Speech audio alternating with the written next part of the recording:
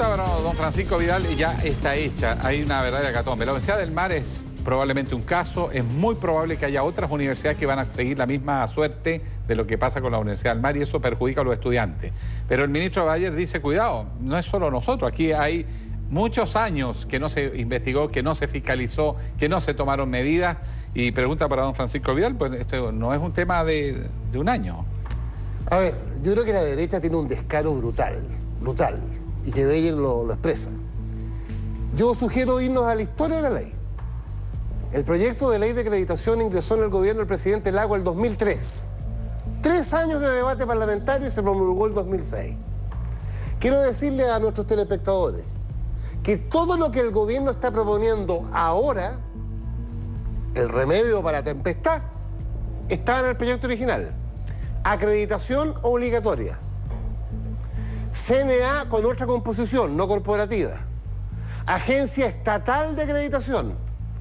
¿Quién echó abajo ese proyecto? La derecha, con nombre y apellido. La UDI en general y la mitad de Renovación Nacional. Porque ¿cuál era el argumento de Cast, el diputado, en aquella época? Les sugiero que vean los debates. ¿Qué tiene que estar haciendo el Estado acreditando universidades?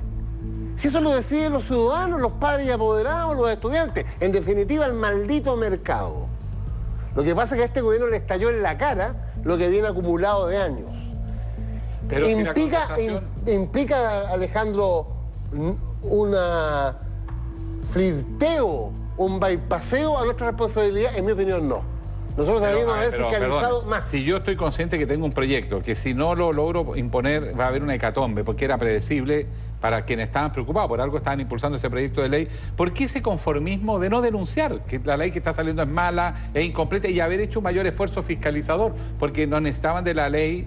De hecho, el primer ministro Bayer también dijo que no tenía facultades para investigar, ni para fiscalizar, ni sancionar. Ahora resulta Claro. que está cerrando universidades que sí está investigando con las mismas facultades. No ha habido ninguna modificación. Yo creo que una combinación de factores. La responsabilidad del armazón legislativo, de su precariedad, de su debilidad, de su vulnerabilidad, nombre y apellido, la derecha. ¿Y cuál era y la responsabilidad nuestra, de y la, la la nuestra concertación? es no haber fiscalizado más. Pero ¿Por hay- qué? ¿Pero por qué no se fiscalizó hay más? una- mira, hay un- eh, eh, yo, esta es una autocrítica mía, mía personal, aunque les duele a alguno. Cometí, mira, mira lo que te voy a decir. Cometimos este error.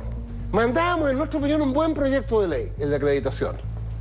No teníamos las mayorías entre el 2003 y el 2006. Negociábamos con la derecha.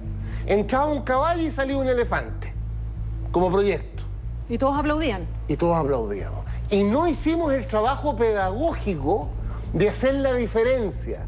Esto es lo que proponemos nosotros, esto es lo que propone la derecha. Nosotros proponíamos acreditación obligatoria. La derecha decía, ¿para qué acreditación?